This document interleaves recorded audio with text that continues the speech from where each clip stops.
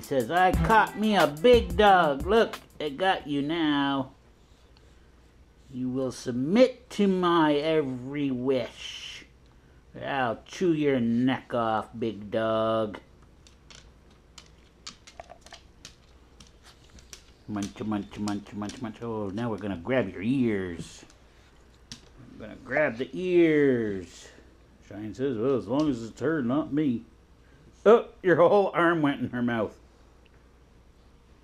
Her whole bottom jaw there. Mm-hmm. Yeah, I'm thinking Madam's not so sick anymore. What do you think, Jess? Hmm.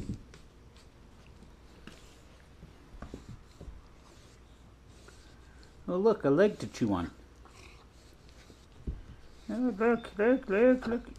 You know, Molly, Dakota could just take your entire head and put it in her mouth.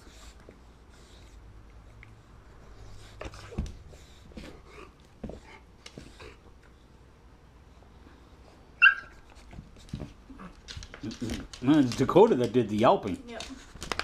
Molly, you shouldn't beat up Dakota like that. She likes playing with you, but don't beat her up. She's still trying to get the ear. Yep. She's got an ear fetish. Ear fetish.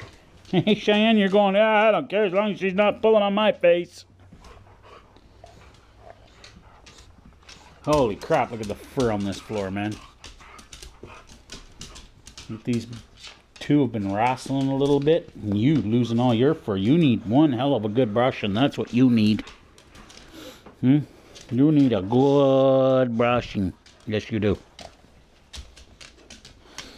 Yes, if the weather's nice tomorrow, after the funeral, maybe we'll take you out and let the fur fly.